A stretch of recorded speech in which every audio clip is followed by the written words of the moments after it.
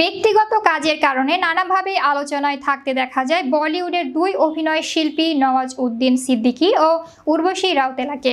এবার এই দুই বলি তারকা এমনই এক নতুন বিতর্কে জড়িয়েছেন যে পুলিশের আইনি নোটিশ পর্যন্ত তা গড়িয়েছে। ঘটনার শুরু একটি বিজ্ঞাপনকে কেন্দ্র করে। ভারতের একটি জনপ্রিয় গেমিং ওয়েবসাইটকে নোটিশ পাঠিয়েছে central consumer protection authority. Notice পাঠানোর কারণ হলো, এই গেমিং ওয়েবসাইটটি সংবাদ মাধ্যমে দেওয়া বিজ্ঞাপনে বিভ্রান্তিমূলক তথ্য ছড়িয়েছে। কিন্তু গেমিং ওয়েবসাইটটির দাবি দু হাজার পনেরো সাল থেকে ব্যবহারকারীদের কাছে তাদের সাইট নাকি সব থেকে বিশ্বাসযোগ্য যা পুলিশ মোটেও আমলে নেয়নি। বরং তাদের অভিযোগের ভিত্তিতে শুধু গেমিং সাইটটি নয়, এই গেমিং সাইটটির বিজ্ঞাপনের মডেলেরও কপাল পড়েছে। ভারতীয় সংবাদ মাধ্যম আনন্দবাজারের বরাতে জানা যায়, পুলিশের নোটিশ অনুযায়ী ওই কোম্পানির হয়ে যে যে তারকা প্রচার করেছেন এবং তাদের বিজ্ঞাপনগুলোর সমর্থন করছেন, তাদের বিরুদ্ধেও নেওয়া হবে আইনানুগ ব্যবস্থা।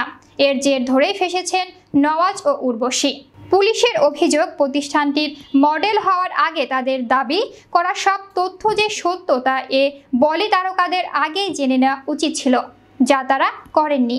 এ দুই বলি তারকাকে পাঠানো উকিল নোটিশে সিসিপিএ জানতে চেয়েছে গেমিং সংস্থাটির যাবতীয় দাবি যে সত্য সে বিষয়ে দুই তারকা কীভাবে নিশ্চিত হয়েছিলেন।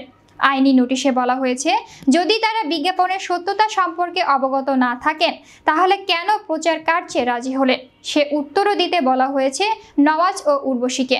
যেহেতু ভারতের কনজিউমার অ্যাফেয়ার্স মিনিস্ট্রির তরফে আগেই একটি বিশেষ নির্দেশিকা জারি করা ছিল যে, কোনো কোম্পানির বিজ্ঞাপনে কাজ করার আগে তার সত্যতার সমর্থনে প্রয়োজনীয় তথ্য যাচাই করে দেখে নিতে হবে মডেলদের।